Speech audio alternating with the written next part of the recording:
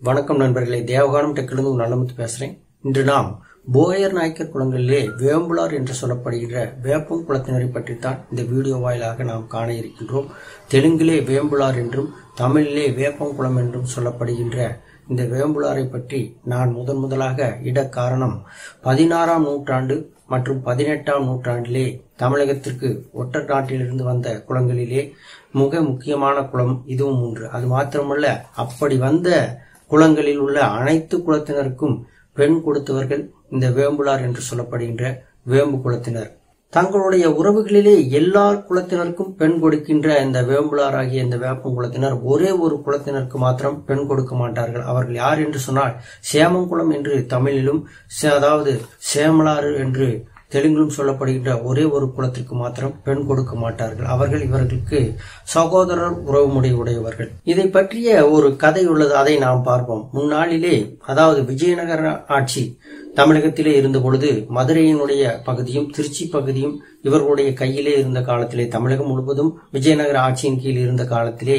அதாவது உடல் உழைப்புக்காக அதாவது ஏரி குளங்கள் அமைக்கும் வேலைக்காக ஆஹ், ஒட்ட நாட்டிலே இருந்து இந்த விஜயநகர அரசர்கள் மற்றும் மதுரை நாயக்கர் அரசர்கள் இந்த பதினோரு குலத்தினரை மதுரை பகுதிக்கு அழைத்து வருகின்றனர். அப்படி அழைத்து வந்த காலத்திலே இந்த பதினோரு குலத்தினரும் அதாவது திருமண உறவு கொள்கின்ற வகையிலே இந்த வேம்புலார் என்று சொல்லப்படுகின்ற இந்த வேப்பங்குளத்திலே பத்து பெண்கள் உள்ளனர். அந்த பத்து பெண்களை மணமுடிக்க முடிவு செய்கின்றனர். அப்படி முடிவு செய்து திருமணம் நடக்கின்ற காலத்திலே இந்த வேம்புலார் குலத்திலே ஒரு அதாவது பத்தாவது பெண்ணாக இந்த சேம சேமங்குளத்தினருக்கு கொடுக்க இருந்த அந்த சேமவாருக்கு கொடுக்க இருந்த அந்த பெண்ணை வைகை ஆற்றிலே தள்ளிவிடுகின்றனர். அதற்கு காரணம் என்னவென்று சொன்னால் இந்த பத்து குலத்தினரும் நமக்கு மாமன் மச்சனன் உறவு முறை ஆகிவிட்டால் சகோதர உறவு முறை உள்ள சகலை உறவு முறை உள்ள ஒரு குலத்தினர் வேண்டுமே என்பதற்காக இப்படி செய்து விடுகின்றனர். அதனால் அதாவது ஆற்றுக்கும் பெண் கொடுத்தவர்கள் வேம்புலார் என்று இவர்களுடைய சமுதாயத்திலே இவர்களை கேலியாக பேசுவார்களாம் அந்த வகையிலே சேமராறு செம்மராறு சேமங்குளத்தினர் என்று அழைக்கப்படுகின்ற இந்த ஒரு குலத்தினருக்கு மாத்திரம் இந்த வேம்புலார் என்று சொல்லப்படுகின்ற இந்த வேப்பங்குளத்தினர் பெண் கொடுக்க மாட்டார்கள். காரணம் இவர்கள் இருவரும் சகோதர உறவுமுடையுள்ள ஒரு குளங்களாகும் மற்ற எல்லா குலத்தினருக்கும் இந்த வேம்புலவாறு குளத்திலிருந்து பெண் கொடுக்கின்றனர்.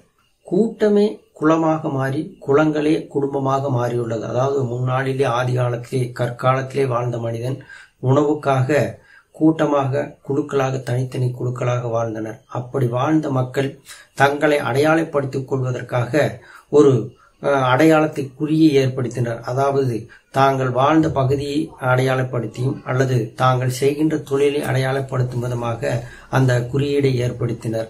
அப்படி ஏற்படுத்தி அந்த குறியீடு தான் பின்னாளில் குளங்கள் என்று அழைக்கப்படுகின்றன. நாம் வாழ்கின்ற இந்த சமுதாயத்திலே அது எல்லா சமுதாயத்தினரும் தங்களுடைய குலதெய்வம் எது என்று கேட்டால் பிரதான தெய்வமாக பெண் தெய்வம் இருப்பதை நீங்கள் பார்த்திருப்பீர்கள். அதற்கு காரணம் என்ன என்று சொன்னால் அந்நாளிலே அலைகுடிகளாக திரிந்த மக்கள் ஆஹ், ஒவ்வொரு கூட்டமாக திரிந்த பொழுது அந்த கூட்டத்திற்கு தலைமையேற்று இருந்தது பெண்தான் என்று மாநிலவியல் ஆய்வாளர்கள் கூறுகின்றனர். அந்த வகையிலே பெண்ணை தெய்வமாக வழிபடுகின்ற முறை ஏற்பட்டுள்ளது. இந்த குழுக்களானது கு- குடும்பமாக மாறிய காலத்திலேயே ஆணினுடைய ஆதிக்கம் பரிணமித்துள்ளது.